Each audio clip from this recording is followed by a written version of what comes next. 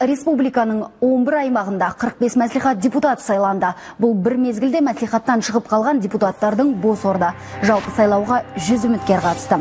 Оның 46-сы саяси партиялардың атынан түссе 54 азамат өзін өзі ұсынған 45 депутаттың 42-сі нұр отан халықтық демократиялық партиясының мүшесі. Бір адам қазақстан коммунистік халық партиясынан сайланды. Қалған екеу ешқандай партияда тіркелмеген. Саяси науқан кезінде халықтың мемлекеттің саяси өміріне бейжай қарамайтыны байқалған. Әр сайлаудың өзінде бұл парламенттік сайлау болсын ә, жалпы мәслихаттардың сайлауы болсын бүкіл қазақстан бойынша мына са- сайлаушылар мына депутаттардың орнына тағы да болып жатқан сайлаушылардың енді жетпіс пен сексен пайызының арасында келіп жатыр аса биік те болып жатқан жоқ аса төмен де болып жатқан жоқ сайлаушылардың енді белсенділігі өте биік.